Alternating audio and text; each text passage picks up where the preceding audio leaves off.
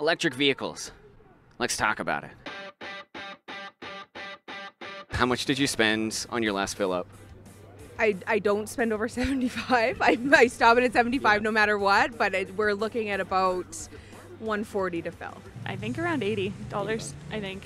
Uh, I think we're getting close to 70 now. It's a small, it's a compact SUV though, so it's a smaller one. over a hundred dollars for the first time. Like, and it wasn't even empty. It was, I think, $108. Uh, last one was around 85 bucks. Do you like the idea of electric vehicles? I mean, we live in Alberta, so it's, a, it's an interesting, polarizing thing. When I say it, what are your thoughts? I'm all for electric vehicles. Really? Why? Yeah, uh, well, I'm, I'm big on lessening the impact on the environment for me um, and sustainable resourcing and things like that. So it just, to me, it's the obvious choice. It's just unfortunate that it is such a jump to get into an elec- electric vehicle price wise. Uh, I like them. I all I know is that they save the environment a little more. I think it's fantastic. I think more people need to try it and have more confidence in it. Like, I think just for me, the power component makes me feel that just better. It's it's plug it in and hit it and not worry about the gas station. I think they're a good thing moving forward. I think it's something that we all need to consider. I also think that we have some work to do to get the distribution and the electrical systems in place so we can actually do this properly. hopefully like everyone can get one because like like gas cars are pretty bad for the environment and like if the ozone layer gets too thin then we could all like cook to death It's pretty morbid, but I like your thoughts.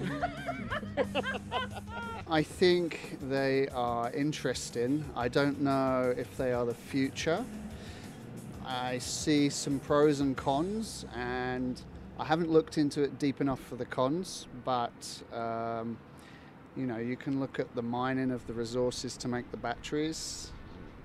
I don't know the ins and outs of that, but is it really environmentally friendly? Yeah. I don't know.